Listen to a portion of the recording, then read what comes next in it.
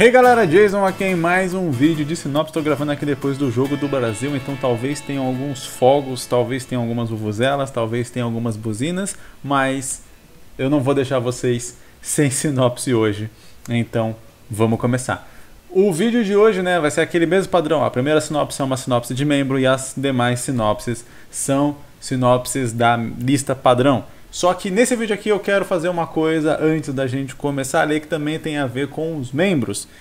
Se você viu o vídeo, né, onde eu desenho essa arte aqui, eu estou testando esse papel que eu comecei a vender. Esse papel, inclusive o link está aqui na descrição da loja para você comprar esse papel para desenho, para você desenhar suas páginas de mangá. Eu estava testando esse papel fazendo esse desenho aqui em um vídeo recente aí de rotina. Confere, eu vou deixar aqui nos cards para você conferir ele. Que é eu testando vários materiais diferentes para ver se o papel aguentava. E eu comentei naquele vídeo que eu ia sortear esse desenho original entre os membros do canal. E aí eu fiz, né, essa postagenzinha aqui na área de membros aqui do canal e os membros simplesmente podiam comentar eu quero para poder definir. Você vê aqui que já faz muito tempo, cara, faz duas semanas que eu postei aqui, ó, que você tem os comentários, né? É, e eu deixei esse tempo todo aqui exatamente para garantir que todos os membros que quisessem iam ter tempo de comentar. Porque às vezes, sei lá, a pessoa não viu o vídeo, tá num, num, numa semana corrida, não, não entrou no YouTube direito, então deixei aqui bastante tempo que era para garantir. Dos membros do canal, sete membros comentaram aqui eu quero, e aí agora eu vou fazer o sorteio. Eu peguei o nome desses sete membros né, que comentaram ali, coloquei aqui nesse site de sorteio. Então ele tem aqui, né? Os membros, cada um coloca uma linha, tá até falando aqui, ó, insira aqui um nome por linha, ok? Um nome por linha. O resultado terá quantos nomes? Um nome porque só tem um desenho, que a pessoa vai ganhar esse desenho original aqui. E daí ela já, já vai poder testar o papel também, já que tem umas áreas em branco aqui e tal, né? Vai poder dar uma testada aí no papel, ver se é interessante e ver se vale a pena comprar na loja. Lembrando que a versão desse papel com as medidas, com todo o as marcações e margens para você poder fazer o seu mangá estão à venda na minha loja. O link está na descrição. Vamos lá, vamos sortear aqui. Ó, minha gata aparecendo para conferir se o sorteio tá, tá certo. vamos lá, sortear nomes. E Maestro, Maestro ganhou aí, cara. Tá aqui, ó, nome Maestro. Você pode ver, ó, fiz aqui ao vivo, né, nesse momento, ó. Se eu continuasse colocando aqui sortear nomes, ó. Aí só porque eu falei, ele foi mais de novo. Mas se eu continuar colocando, ó, sortear nomes, ele vai sorteando outros nomes. Então, só para mostrar aqui que, nossa, ele vai ficar é, é, viajando só nesses. Enfim, só para mostrar aqui que enquanto eu fosse colocando, ele ia sorteando outros. Então, o vencedor foi o Maestro, até iconicamente parou aqui no Maestro de novo. É óbvio que ele tem chance de repetir porque são só sete nomes, né? Se a gente tivesse 40 nomes aqui, teria menos chance de, de aparecer de novo. Mas de qualquer modo, o Maestro venceu aí. Parabéns, cara. Então, esse desenho aqui vai ser seu. Eu vou pedir para que você entre em contato comigo lá pelo Instagram. Se eu não me engano, o maestro já tinha me mandado mensagem no Instagram. Se for você mesmo, manda mensagem lá no Instagram com o seu endereço para eu poder enviar esse desenho para você, beleza? E se você quer ter a chance de concorrer a outros desenhos, outros sorteios que eu faça, ter sua sinopse lida aqui mais rápido, entre outras coisas, né, votação para os vídeos e outras coisas que eu vou promover lá na área de membros, inclusive alguns vídeos exclusivos para membros Seja um membro aqui, a partir de 3 reais aí por mês você me dá uma força muito grande a continuar com esse canal. Para quem não sabe, fazer um canal de desenho ou falando sobre mangá, etc. assim, é um, é um público muito específico, então o canal em si, mesmo tendo bastante inscritos, não dá muito dinheiro. Então é com a ajuda de vocês diretamente que eu consigo financiar a produção dos vídeos aqui para a gente continuar mantendo esse canal sempre tendo vídeo. Então, quero agradecer aí a você que prestigia, que assiste todos os conteúdos do canal. Quero agradecer a todos os membros aí que ajudam esse canal a continuar existindo. E se você puder se tornar membro, tá aqui embaixo também o botão Seja Membro. Então, bora começar agora sim a sinopse. Após ser torturado, Martins vendeu seus sentimentos e memórias para um demônio, mas por se sentir vazio, faz um contrato com um feiticeiro e trabalha para recuperar o que perdeu é um mundo medieval com fantasia, e o autor coloca entre parênteses que o objetivo é mostrar a crueldade e frieza de um homem sem remorso. Na verdade, ele tem um remorso, né? o remorso de ter vendido ali a, a seus sentimentos e suas memórias para um demônio. Eu já comentei aqui sobre como é complicado a gente trabalhar com um personagem que, em teoria, né, não tem sentimentos, porque o que que existe a, questão, né? O que que é sentimento? Praticamente tudo que, que que a gente vê e expressa como um ser humano pode ser considerado como um sentimento. Então, seja empatia, compaixão, felicidade, alegria, tristeza, raiva, medo, ódio, amor, enfim, existem uma, uma gama infinita de, de sentimentos, né? Esses que eu citei aqui são os que vêm à cabeça primeiro, mas se a gente pensar mais a fundo, a gente acha alguns outros sentimentos, né? Mais, mais é, é, é, é menos preponderantes, mas que ainda assim são considerados sentimentos. E aí quando a gente pensa um, um ser humano completamente desprovido de sentimentos, o que que vai motivar esse personagem? Mesmo a motivação de recuperar, né? Ou ele fala, ah, você, ele se sente vazio. Sentir vazio não é uma forma de sentir ainda? Quer dizer, o próprio verbo já denuncia aqui talvez uma certa falha, né? Porque se ele se sente vazio, ele precisa sentir. Se ele sente, então ele tem algum tipo de sentimento. Entende a, a, a contradição? Então talvez seja alguma coisa do tipo, realmente ele pode, ao invés de, de jogar é, diretamente, sabe porque se ele vendeu as memórias, são as memórias a partir dali, ele lembra que ele vendeu? Ah, são as memórias do ponto que ele vendeu em, antes. Enfim, dá para trabalhar isso. Eu acho que talvez a gente possa colocar é, que não necessariamente ele perdeu todos os sentimentos 100%, porque eu acho que fica quase. Eu acho que no último, no último sinopse eu cheguei a comentar sobre isso, sobre como seria difícil trabalhar um mangá onde a personagem não pode ser amada nem sentir amor, porque daí você entra na subjetividade do que é amor, e aí acaba virando uma discussão extremamente complexa é, que foge talvez do objetivo da história. E aqui talvez acabe né, caindo exatamente no mesmo ponto. Né? A gente começa a analisar o que é sentimento e a, e a brecha para furos de roteiro na escrita desse personagem assim vem aos montes, porque qualquer coisa que você faça ali com ele é, pode ser interpretado como um furo de roteiro, exatamente nessa questão de sentir. Então, o que, que poderia ser feito aqui para a gente amenizar isso e talvez é, é, tirar a possibilidade de alguns furos de roteiro? Ao invés de dizer que ele vendeu seus sentimentos e logo ele não tem nenhum sentimento, pode dizer que ele vendeu sua alma. E aí a gente cria uma subjetividade onde a alma comporta os sentimentos. Então não é que ele perdeu os sentimentos, mas ele perdeu talvez um amor pela vida, ele perde... é tipo quando tem uma lobotomia, que a pessoa vira meio que um vegetal, ela fica ali mais apática.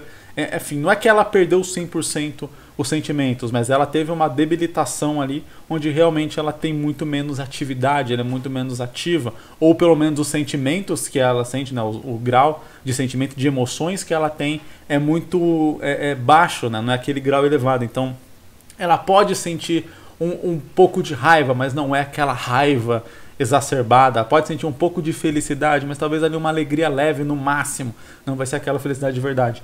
E por que eu acho isso importante? Porque talvez né, essa motivação do personagem de ir é, recuperar o que ele perdeu necessita de talvez um sentimento de indignação, de arrependimento, alguma coisa assim. E tudo isso são sentimentos ainda. E aí, se ele perde os sentimentos, ele não teria nem por que sentir esse vazio, ele não teria por que se arrepender, porque ele não teria o sentimento de arrependimento, entende? Então, talvez realmente é, é não usar a palavra sentimentos diretamente, mas talvez usar a palavra alma, e aí, ao longo da história, é, fazer o leitor entender que esses sentimentos, que os nossos sentimentos, que as nossas emoções são frutos da nossa alma e, portanto, ele perdeu parte desses sentimentos, mas é, é, sem deixar claro ali que ele perdeu todos os sentimentos, de modo que o leitor não vai interpretar isso ao pé da letra e ficar buscando pontinhos de falha ali na escrita daquele personagem que podem acabar quebrando a história e impedindo o leitor de realmente entrar ali na trama e se conectar com o personagem, etc. É, e aí dá pra até abordar algumas coisas interessantes, porque se ele tiver um pingo de sentimento, mas não tiver aquele sentimento muito forte, dá para até sentir uma espécie de angústia pelo personagem em situações onde ele quer sentir mais e ele não consegue ultrapassar aquele sentimento, ele não consegue é, chegar àquele. Então ele sente uma tristeza algo que eu estou falando como é complexo. Então ele vê alguma situação que causa uma espécie de revolta nele, só que essa revolta não vem com aquilo que ele queria, com aquele tom que ele queria, e aí ele sente uma tristeza por conta disso. Entretanto, a tristeza também não é uma tristeza muito forte, e aí fica nesse, nesse cambaleio de sentimentos, onde todos eles são fracos o, o, o bastante para ele sentir ainda, para ele sentir um incômodo, mas não fortes o bastante para ele conseguir é, é, é botar para fora isso que está causando uma dor dentro dele. Então dá para trabalhar ali uma coisa interna do personagem muito interessante. E aí no objetivo que falou que é mostrar a crueldade e frieza de um homem sem remorso, é Aí eu não sei, eu acho que se é o personagem principal é um pouco complicado, porque geralmente a gente precisa ter um certo nível de empatia com o personagem principal. Daria para fazer isso aqui, por exemplo, com, com um vilão, ou talvez realmente tra, tra, trabalhar o personagem principal como se ele fosse um vilão. E aí, beleza, tira o sentimento dele, tira tudo e mostra só isso. Só que eu acho que a gente teria que ser uma história muito curta, porque eu acho que seria o tipo de personagem que o leitor não iria gostar de acompanhar por muito tempo. Entende? Porque ele não tem os pontos de conexão. O que eu falo, né? Quando a, é, a gente geralmente se identifica com personagens por coisas dos personagens que são parecidas com a gente ou com como a gente gostaria de ser. Então a gente tem ou a identificação direta ou a, a admiração direta pelos personagens. Então, ou eu me identifico porque aquele personagem passa por situações parecidas com as que eu passo, tem sentimentos parecidos com os que eu tenho, tem dúvidas, medos, receios iguais aos que eu tenho, ou aquele personagem exatamente consegue passar por cima de várias situações que para mim seriam um mega obstáculo, sentimentalmente falando, emocionalmente falando, e aí eu admiro aquele personagem e eu me projeto naquele personagem de modo que eu quero continuar acompanhando aquele personagem para que eu sinta esse gostinho de como é estar naquela posição e possa querer um dia, de repente, realmente estar naquela posição.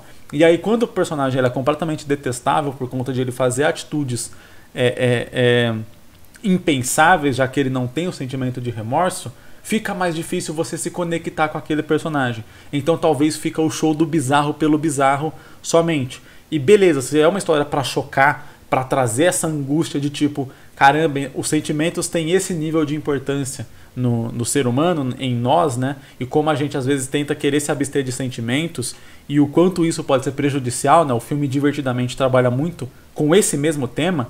Eu acho que dá para funcionar numa história muito curta. Que ela seja curta, grossa, dê a, a mensagem, demonstre a mensagem que ela quer passar. E acabou, porque eu acho que se ela se estende muito, o personagem não carrega uma história muito longa, considerando que ele não vai ter emoções. É, é, essa é a minha opinião, pelo menos. Eu, particularmente, acharia pessoalmente difícil pra caramba contar uma história longa com um personagem que não tenha nenhum tipo de emoção. Ok, dá pra gente trabalhar com os personagens em torno, os coadjuvantes e tal, com emoção? Dá. Porém, uma vez que o foco é aquele personagem ali que não tem, eu não sei se esse contraponto, como esse contraponto seria apresentado também, porque ele ao mesmo tempo também não sentiria. É, é, a gente tem o exemplo do, do, dos psicopatas, são pessoas que eles têm vários níveis de emoção, mas eles não têm a empatia pelo próximo, e já é difícil pra caramba você trabalhar um personagem que não tem empatia. Porque o princípio de uma história, por exemplo, é ter empatia. Né? Você precisa ter empatia pelos personagens para que você se sinta motivado a continuar acompanhando aquela história. Se o próprio personagem não sente essa empatia, a coisa complica um pouco. Né? Então, várias histórias, mesmo que tentam abordar é, você pega o caso de Dexter, por exemplo, né? Ele tem. Uh, eles trabalham muito bem essa questão do personagem não ter a empatia, mas daí eles colocam, no caso, o personagem conversando com você. Então, você sente a empatia pelo personagem mesmo que ele não sinta pelos demais, porque ele está se abrindo com você, ele está demonstrando os sentimentos que ele tem ali naquelas situações. Eu acho que Dexter é uma série que não funcionaria, por exemplo, sem a narração, sem ali o personagem estar tá falando com você diretamente, porque aí talvez ele ficaria um personagem muito sem sal, muito muito insosso, muito difícil de você engolir ele ali, de você captar a, a, as, as emoções dele sem ele falar diretamente com você, já que o princípio seria ele não ter emoções. Talvez até seja uma ideia para essa história aqui. Já que o personagem não vai ter emoção, então a gente faz ele ser uma voz presente na história o tempo inteiro. É que a narração no quadrinho, ela não funciona tão bem quanto em outras mídias.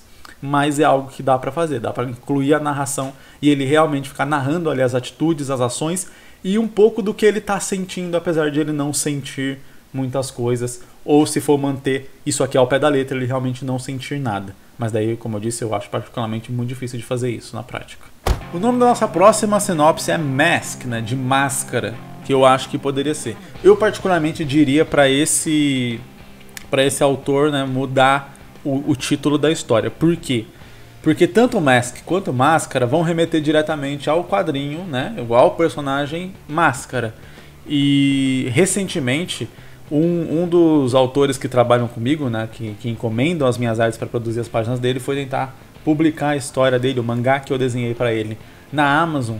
E a Amazon alegou direitos autorais. Muito provavelmente, até o momento onde eu estou gravando esse vídeo, não tenho uma certeza do qual foi o motivo, né? Ele está tentando entrar em contato com a Amazon para descobrir o porquê, o que, que foi categorizado como direitos autorais. Mas ele acredita muito fortemente que tenha sido o título. O título do mangá dele é Lost Kingdom. E Lost Kingdom é um título até que bem comum, né? Então, por exemplo, o próximo filme do Aquaman vai sair Aquaman The Lost Kingdom, em The Lost Kingdom, alguma coisa assim. Aquaman Reino Perdido. Então, o título Reino Perdido é um título muito comum. É, a gente tem uma série chamada Reino Perdido, deve ter outros livros e coisas chamar com esse mesmo título. Então, é, eu já comentei aqui uma vez sobre quando você usa títulos que é, remetem a outras coisas, principalmente a outras obras, corre o risco de você nunca ter o seu sua obra, o seu mangá lido e achado na internet por alguém que tenha vontade de ler. Então, novamente, aqui ó, Mask. Se a pessoa quiser ler, pô, gostei, um amigo meu me falou dessa história e eu vou chegar em casa e eu quero ler, eu quero procurar para comprar ou para ler. Você vai digitar lá no Google Mask e aí vai aparecer o Máscara. E aí, sabe-se lá Deus quando vai aparecer a sua pesquisa, o quão bom você vai ter que ser de, de SEO de Google, né? Que é o, o, o Search Engine Optimization, que é você basicamente otimização de, das, das plataformas de busca, né? Você criar todo um conteúdo ali de uma maneira que ele seja facilmente encontrado no Google. Você tem que ser muito bom para que a sua marca supere uma marca que é um milhão de vezes mais famosa do que a sua. Então é complicado, é o negócio que eu falo. Se você fizer um mangá chamado Coca-Cola, alguém jogar Coca-Cola no Google, você acha que o seu mangá vai aparecer ou vai aparecer só o refrigerante? Eu sempre comento sobre isso. Mas agora dá para ir até mais fundo, porque observando isso que aconteceu com o meu cliente, né, com o autor que trabalha comigo, talvez você nem consiga registrar essa obra em alguns sites, algumas lojas para as pessoas poderem comprar. Então, é, nesse caso, eu realmente, sei lá, você pode manter isso aí, tipo, ou é, é, é a mascarada, eu não sei, é, é, ou algo do tipo, ou o conto da máscara, sabe? Alguma coisa que complete esse título para que ele seja um pouco mais original, um pouco mais diferenciado, de modo que tanto se você publicar gratuitamente, algum leitor interessado vai conseguir achar, quanto se você quiser colocar em uma loja, você vai, não vai ter esse problema de bater com o mesmo título de alguma outra obra que esteja nessa mesma loja, e aí, portanto, você não vai poder colocar lá à venda. Então, um, é, falando rapidamente aqui sobre títulos, é, dê uma pesquisada no título que você quer é, colocar no seu mangá, joga no Google esse título e vê o que, que aparece, vê o que acontece para ver se já existem outras coisas com esse mesmo título, se existem obras mais famosas com esse mesmo título, para que você não tenha problemas futuros, beleza? Vamos lá. Depois que completou 9 anos, Airi mudou totalmente sua personalidade. Ela tentou apagar suas manias de fala, agia de forma incondizente com sua idade.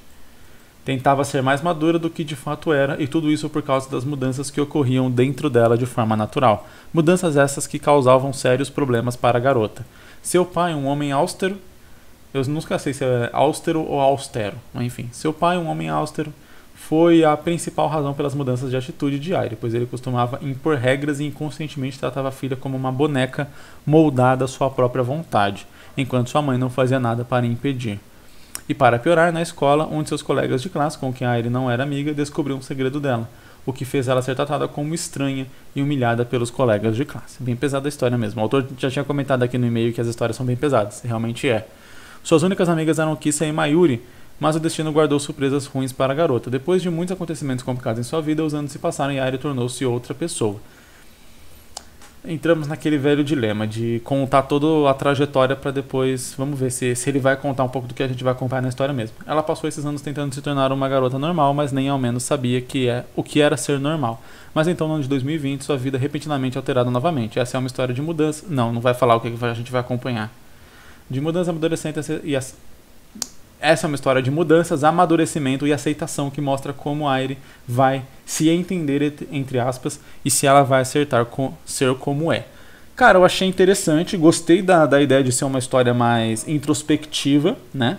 É, Aqui a gente não tem é, plena noção do que realmente a gente vai acompanhar, entrou naquela mesma questão. Geralmente essa questão acontece aqui na sinopses com mangás mais épicos, né? A pessoa conta toda a trajetória do mundo do universo daquela história mil anos atrás, e aí quando chega na hora de contar o que a gente vai acompanhar de fato, ele para. A sinopse está bem montada, Até, apesar de que ela gasta muito tempo contando ali o que aconteceu com a Ari quando ela tinha 9 anos. E quando chega na trama em si, a gente só entende que, beleza, ela carrega um trauma muito grande do passado, mas a gente só sabe disso. A gente não sabe o que, que pode desencadear. Quer dizer, eu sempre comento aqui sobre a gente pensar como autor o porquê que a gente está contando essa história, né? E, e ir um pouco além do porquê eu quero ou porque eu imaginei que seria legal contar essa história.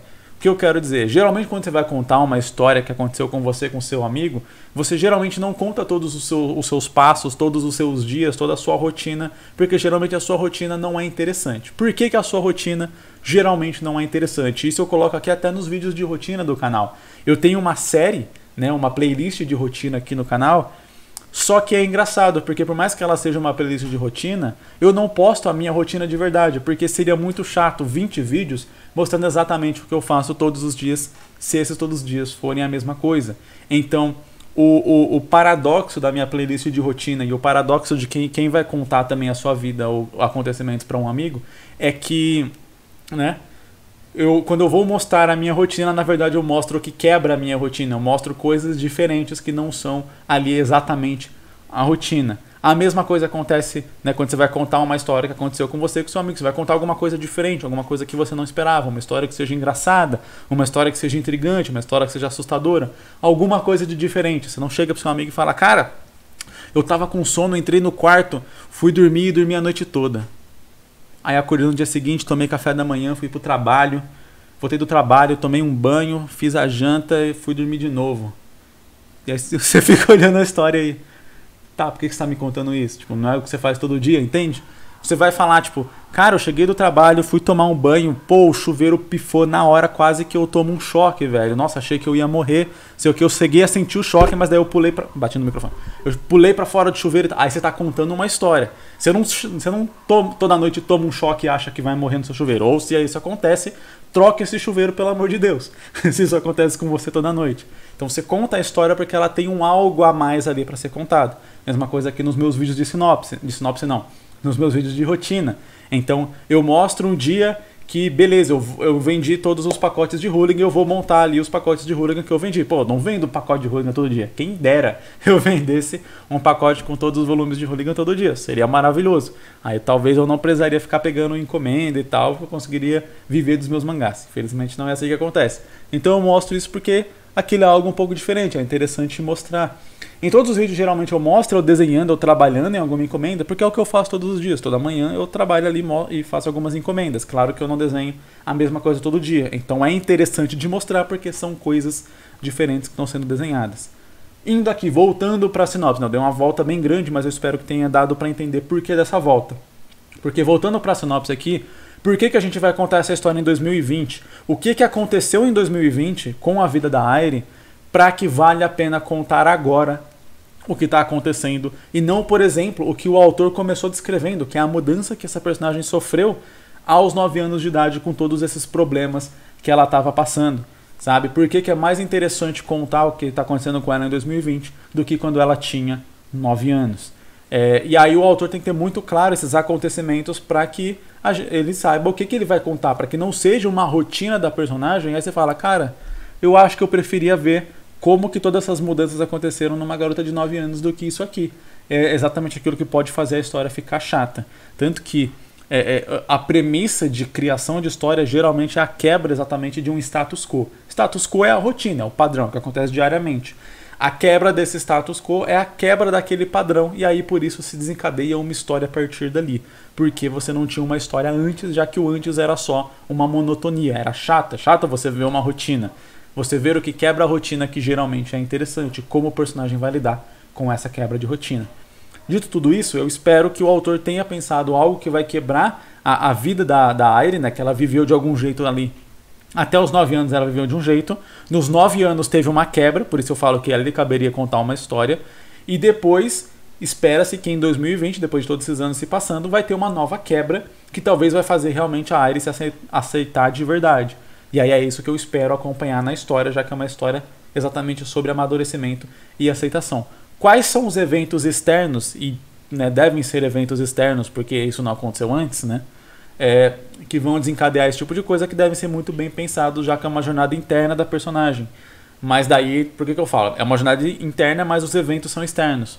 Porque você tem que ter uma justificativa do porquê essa jornada interna e essa aceitação vai se dar agora, vai acontecer nesse momento, vai acontecer nessa história que eu estou contando e não aconteceu nesses anos anteriores. Ela viveu dos 9 anos até 2020, eu não sei quantos anos se passaram nesse tempo, né? Sei lá, podem ser 10, ela ter 19 agora, pode ser 20 anos, ela ter 29 agora, podem ser 30 anos, ela ter 39 agora.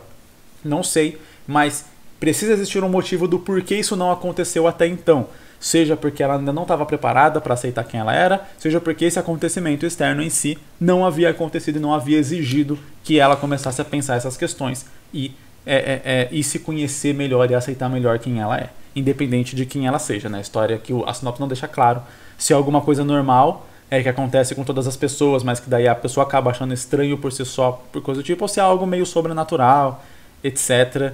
Mas, enfim, na minha opinião é isso. Precisa pensar muito bem no motivo pelo qual essa história está acontecendo e sendo contada agora e quais eventos vão desencadear isso e por que, que esses eventos desencadeiam isso agora e não desencadearam antes, porque com certeza é uma dúvida que o leitor vai ter e precisa ser respondida. Haru e os Cristais Mágicos. O ano é 2022. Ao ir passar o fim de semana na casa de sua avó, Haru sofre um grave acidente e acaba se afogando no lago mas descobre que foi teleportada contra sua vontade para 2800. Acho que é o ano 2800. Ano ano no qual a raça humana foi completamente extinta devido a um evento catastrófico. Foi teleportada contra sua vontade, porque morrer afogado era muito melhor, né? Enfim, a natureza se restabeleceu mais forte cristã. A natureza se restabeleceu mais forte. Aí eu imagino que deva ter uma vírgula aqui. Cristais mágicos fornecem o equilíbrio é, a esse novo mundo inexplorado. Criaturas gigantes, grotescas e seres mágicos habitam esse lugar estranho após a separação dos cristais. Ah, um lugar estranho deve ser um, não, será um ponto. Após a separação dos cristais, uma doença misteriosa desconhecida surgiu infectando a floresta e os animais. Haru, uma garotinha de 10 anos, perdeu a memória e terá de explorar esse perigoso mundo à procura dos cinco fragmentos do cristal Lágrimas da Lua espalhadas pela imensa floresta, à procura de respostas de como chegou nesse lugar e como vai sair viva, viva dele. Aqui entra um caso que já aconteceu uma vez em uma sinopse, então acho interessante comentar aqui de novo. Eu já falei aqui, né, acabei de falar na sinopse anterior, que a gente precisa ter um, um, um, um porquê a gente está contando essa história nesse momento. Aqui não necessariamente essa pergunta se cabe, né, porque ela realmente, tipo, ah, aconteceu esse evento e aí ela foi para outro mundo, beleza, vai, eu entendo porque eu estou contando essa história. Mas o autor ele precisa, junto de entender por que, ele está contando a história ali, justificar as coisas que ele quer pôr na história.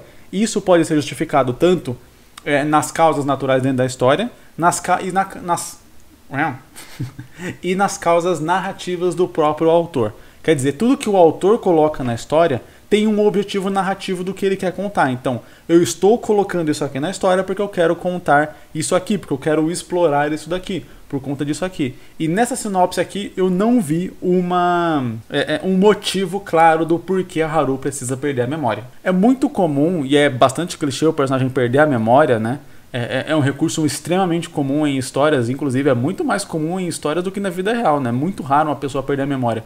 Precisa de eventos extremamente traumáticos para uma pessoa perder é, a memória e geralmente ela perde parte da memória e não a memória inteira, é, é, a ponto de não saber quem é, etc. Mas aqui o que eu quero dizer, por que, eu não vi um motivo para isso? Porque na, na própria sinopse foi apresentado esse início pra gente. Ela sofre um acidente e ela é teleportada e ela não sabe como. Beleza. O que dentro dessa história justifica ela perder a memória? Tipo assim, beleza, tem uma causa natural ali, ah, ela sofreu um grave acidente, ela pode ter batido a cabeça, ela pode ter só é, é, a, ter tido um trauma e aí deletado parte da memória dela, esse tipo de coisa acontece, é natural, beleza, mas dentro da proposta narrativa da história, por que, que a personagem precisa ter perdido a memória? O que, que ela tinha na memória dela que fosse tão importante para para o propósito narrativo da história para que ela não tenha essa memória. Ela tem 10 anos, ela não viveu muita coisa na vida dela. E se ela não sabe como ela foi teleportada, ela não precisa necessariamente perder a memória para não saber como ela chegou ali. Se você quase se afogou e quando você acorda depois de ser quase se afogado, você já não vai lembrar direito dos fatos que aconteceram mesmo ali entre. É, é, pode até ter umas memórias, é, tipo, não lembrar do que aconteceu naquele momento, mas não necessariamente perder a memória como um todo ou algo assim. Talvez até essa intenção do autor e só não ficou claro na sinopse. Mas eu quero dizer aqui, eu não vi nada narrativamente falando que justifique ela perder a memória, que isso sirva para alguma coisa na, na história que vai ser contada. Então, geralmente, o perder a memória é um recurso muito usado para um personagem que ele viveu alguma coisa que seria um spoiler da própria história.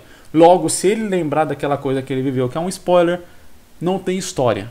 Então, muitas vezes esse recurso é usado para suprir essa necessidade do tipo, ah, pô, o vilão que eu estou enfrentando, na verdade é meu pai, só que eu não tenho memória, logo eu não sei que ele é meu pai, eu vou precisar descobrir isso ali na hora e aí de repente falar: "Nossa, agora tudo está voltando, eu lembro de tudo, você é meu pai". Isso é tipo um clichê mega comum em histórias.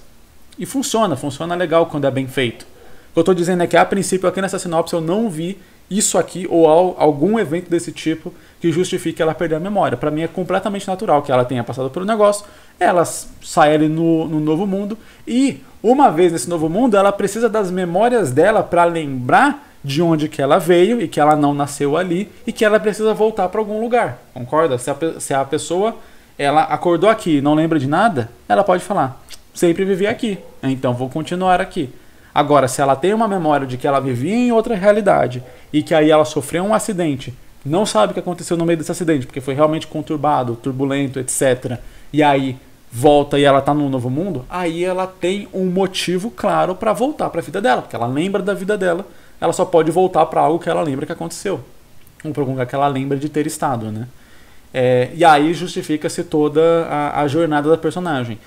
A dificuldade que eu tenho aqui nessa história, que eu acredito que seja nessa história, é o fato de que não existem mais humanos dentro aqui da, do mundo, né? do mundo onde ela foi parar, porque ela foi para o futuro. E aí o lance é, é, uma vez que ela não tem humanos, essa história ela pode se discorrer de duas formas. Ou com a própria personagem falando sozinha, ou aproveitando o fato de ela ter 10 anos de idade para de repente ter um amigo imaginário, ou conversar com os animaizinhos, as criaturas mágicas, que não necessariamente precisam falar, mas ela pode conversar com eles como se eles falassem. É um jeito de você explorar os sentimentos dessa personagem, ou fazer a história completamente sem fala também, e aí só seguir. Fica muito legal quando você faz a história dessa forma, sem fala, e, e, e fica uma história completamente exportável, né? Você pode é, é, é, colocar essa história, por exemplo, né, esse mangá, em sites de qualquer lugar do mundo e ela vai ser lida e absorvida por qualquer pessoa no mundo e vai conseguir entender. Porém, é muito mais difícil você contar uma história sem depender das falas, né? Porque daí você depende muito mais do desenho, da expressividade do personagem, etc., para poder descrever certos sentimentos que ele está sentindo. Sentimentos seriam muito facilmente descritos caso o personagem simplesmente falasse. É, então, é, é, eu acho que são dois recursos que ficam interessantes, considerando que a gente não vai ter outras pessoas que vão conversar com ela ou que vão explicar. Por exemplo, uma dúvida aqui: como que a personagem num universo, num mundo onde ninguém fala com ela, onde ninguém fala a língua dela, não tem humanos ou coisa do tipo, vai descobrir que ela precisa buscar cinco fragmentos do cristal Lágrimas da Lua e que estão espalhados pela floresta? Como que ela descobre isso? Como que ela deduz isso? como que ela chega a essa conclusão, como que ela sabe que o nome é Cristais Lágrimas da Lua. Entende? São várias coisas aqui que estão encaixadas na mitologia, mas que dependendo ali de como for feita a construção da história fica meio complicado. Claro, você pode dizer, ah, não, as criaturas mágicas falam e tal, beleza, uma coisa meio Alice no País das Maravilhas, todos os bichos falam, as criaturas mágicas falam, falam a língua dela e tal. Aí, beleza, fala, ah, eles falam a língua dela, tá? Como que isso surgiu, como que isso começou, você começa a criar algumas dúvidas na história. Mas dá para fazer também, não, é uma coisa que vai ser um problema realmente para a compreensão da história, na verdade vai até facilitar vários desses pontos, né? Então simplesmente ela chega, alguém fala: "Oi menininha, você precisa buscar os cristais cinco fragmentos, os cinco fragmentos do cristal Lágrimas da Lua para poder voltar para casa". E aí ela fala: "OK, vou fazer isso". E aí pronto, começou a história. Fica muito mais simples. Particularmente, eu acho que seria mais interessante a gente ir trabalhando um pouco da, da psique dessa personagem e de como talvez exatamente a inocência infantil dela impede ela de sentir extremamente é, é, é, desorientada, né? E, e, e, desamparada nesse mundo completamente novo, né? Um adulto ele tem uma ligação muito mais forte com a realidade. Logo é muito mais fácil de ele enlouquecer estando num mundo desse. Uma criança ela tem a, a imaginação muito aberta, de modo que talvez isso que permita ela conseguir conviver nesse mundo, apesar de eu ficar triste ali, se ela passa uma noite triste por não ter a mãe, etc, esse tipo de coisa, mas de um modo geral, essa inocência, essa questão de exploração de que um próprio mundo normal é novo para uma criança, então o mundo novo não é tão novo quanto o próprio mundo normal. Não sei se ficou claro isso que eu falei, talvez tenha ficado confuso. Mas a ideia é que o nosso mundo, para uma criança, tem muitas coisas novas que ela nunca viu. É uma aventura. Viver, né, do, do ponto de vista de uma criança, já é uma aventura. Logo, se você transfere ela para um mundo mágico, esse mundo mágico também é uma aventura igual o próprio mundo normal é. Então ela tem mais facilidade de lidar com esse mundo sem ter as questões que um adulto, por exemplo, teria. E aí entra um outro ponto que eu quis colocar aqui, né, né que eu coloco aqui, eu acho interessante trazer na história, que é aquilo, se você está fazendo a sua história ser com uma garotinha de 10 anos, do mesmo jeito que apagar a memória dela é, é precisa ter uma função narrativa na trama. Então, se ela é uma garotinha de 10 anos, vamos usar isso a favor da personagem ou contra a personagem, né? É aquele negócio que eu já falei. Você quer fazer uma história de um personagem menor de idade? Você tem que saber que existem prós e contras do personagem ser menor de idade. Você quer fazer uma, história de um personagem é velho? Você precisa saber que tem prós e contras do personagem ser velho.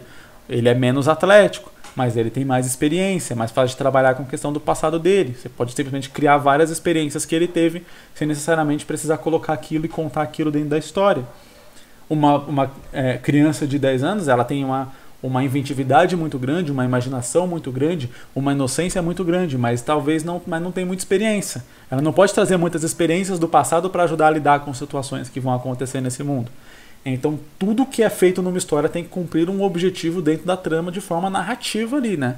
Na, naquilo que você está contando de fato eu quero contar uma história sobre isso, o personagem é assim, então eu carrego todos os prós e contras do personagem ser assim que eu criei para poder contar aquela história. Você não pode só ter uma decisão meio que arbitrária. Ah, meu personagem vai ter, vou jogar um dado aqui, 17 anos. E aí você quer contar uma história onde o personagem de 17 anos é, vai ser o piloto de caça. Fala, pô, com 17 anos você não pode ser piloto de caça, cara. No máximo você pode entrar na escola ali da aeronáutica. Entende? Então, o, o, a trama ela serve ao personagem do mesmo jeito que o personagem serve à trama e os dois têm que casar de uma forma que seja lógica. Ou, se ela não for lógica com base em como a gente conhece a nossa realidade, o nosso mundo, que seja justificado dentro da própria história essa quebra de lógica para que o leitor não fique incomodado com aquilo e consiga entrar na história sem fazer tantas questões. Você vê que um ponto que eu vivo batendo aqui é as perguntas que o leitor vai se fazer quando estiver lendo a sua história. Essas perguntas podem ser perguntas positivas, de acordo com o próprio mistério que você está elaborando na história, ou podem ser perguntas negativas a respeito da trama que você está montando ali. E quando são perguntas negativas, são questionamentos ali da lógica interna da sua história, do, do, dos efeitos de alguma coisa ou algo do tipo, que tendem a ir para o questionamento de se isso é um furo de roteiro ou não, você sempre está perdendo o leitor a cada um desses novos questionamentos que ele vai fazendo. Então o objetivo é sempre encaminhar o leitor só para os questionamentos bons, que é, pô, quem é esse personagem? Caramba, ele fez isso aqui, e agora? O que será que vai acontecer? São os questionamentos interessantes, que mantêm o leitor engajado, e evitar os questionamentos que tiram o engajamento do leitor com a história. Nossa última sinopse de hoje não tem um título ainda. Vamos lá.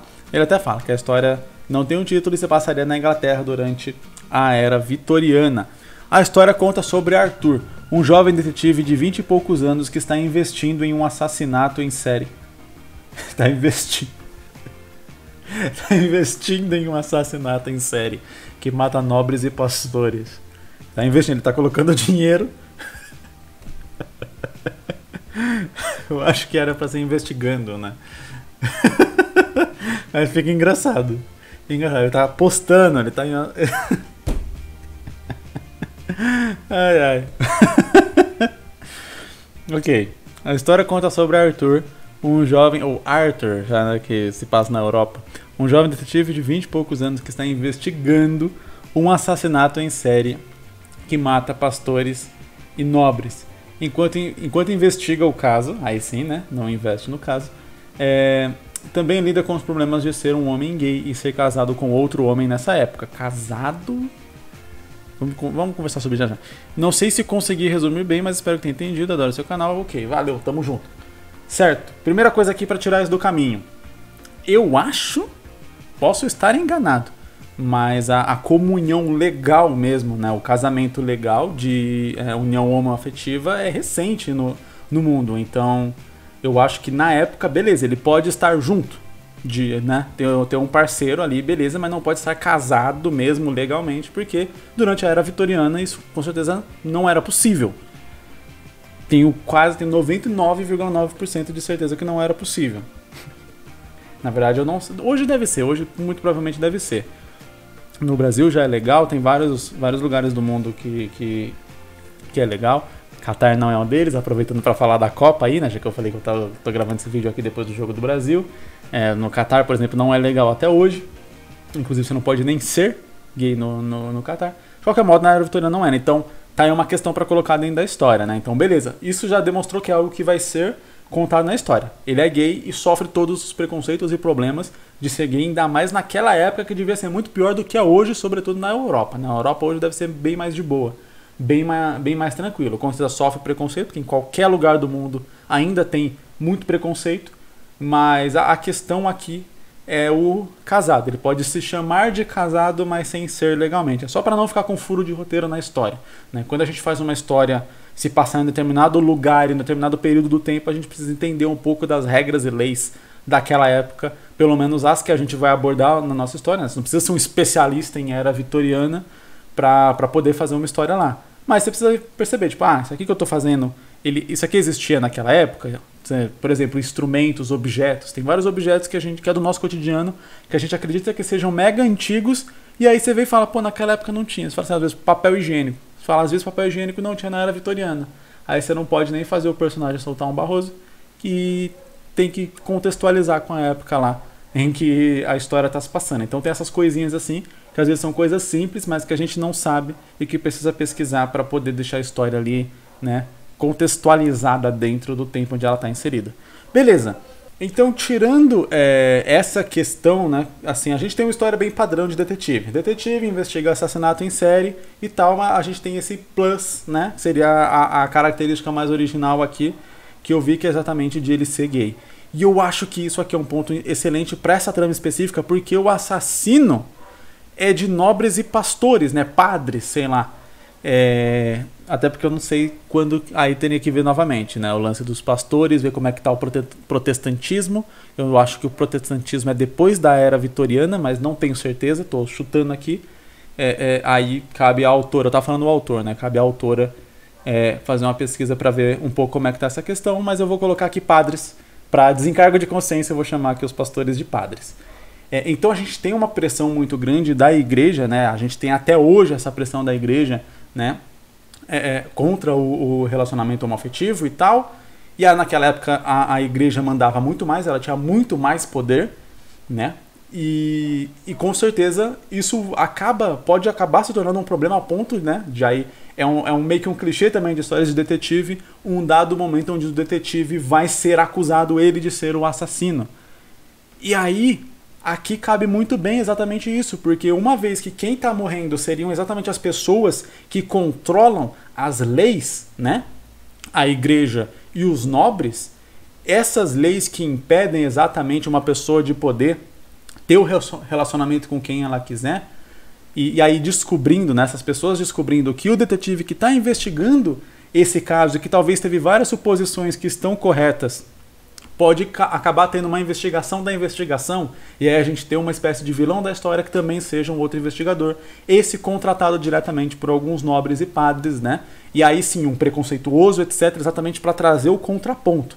Ele também é investigador, só que aí ele está trabalhando ali para investigar o personagem principal e, tem, e talvez até tentar incriminar o personagem principal. É, e quando eu digo tentar incriminar, não é só no sentido de, tipo, realmente é, é, dick vigarista, vai, fazendo é, é, é, mexendo nos carros para as pessoas perderem corrida. Eu digo tentando incriminar no sentido de quando você tem uma convicção em alguma coisa, você procura pistas e, e, elementos que confirmem aquela convicção que você tem. E quando você não tem uma convicção, você só quer chegar à verdade, você pega as pistas primeiro e a partir delas você interpreta. Né? No método científico é falado muito sobre isso, né? que você tem ali um, um resultado que você quer chegar, mas o foco principal é você pegar a, a, os dados das pesquisas e analisar esses dados para ver se eles batem, geralmente tentando é, fazer com que eles não batam com o resultado que você quer. Então você fala, ó, eu acho que foi esse cara que esse cara que é o assassino em série. Então o que, que eu preciso procurar? Método científico.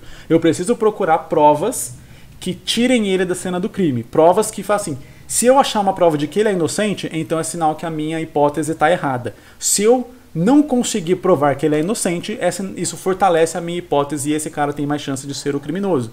Esse pode ser, por exemplo, o modus operandi do Arthur, enquanto o modus operandi do vilão, que seria o cara contratado pelos nobres e pelos padres ali para tentar incriminar o Arthur, e talvez seja até, ele que vai descobrir que o Arthur é gay, e aí pode dar todo um reboliço na história que gera para um clímax bem interessante. O que ele vai ter é eu quero que o Arthur seja culpado. Logo, qualquer coisa que coloque o Arthur como culpado, eu vou ir atrás. Então, ah, ele é gay e é contra os nobres e, o, e os padres porque são eles que impedem os gays de se relacionarem. Então, ele tem um motivo para matar. Ah, ele, ele faz deduções da cena do crime e essas deduções sempre chegam até os corpos. Ah, é porque ele mesmo está fabricando. Ele sabe onde é que ele enterrou os corpos porque foi ele que matou. Então, tipo, o cara vai fazendo todas as pistas irem em direção ao Arthur, enquanto o Arthur vai fazendo, tentando interpretar as pistas para chegar realmente no verdadeiro assassino. Eu acho que daí o que fica faltando nessa história é o próprio assassino. Quem que é o próprio assassino? E aí sempre tem duas formas de trabalhar com isso numa história de mistério de detetive, né, Biju? Deixa eu trazer a Biju aqui para dar engajamento no vídeo.